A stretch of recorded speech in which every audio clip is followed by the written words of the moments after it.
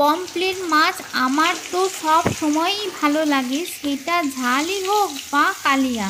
আর এরকম ভাজা মাছ হলে তো কোনো কথাই হবে না। তোমাদের কোনটা ভালো লাগে কমেন্টে জানিও।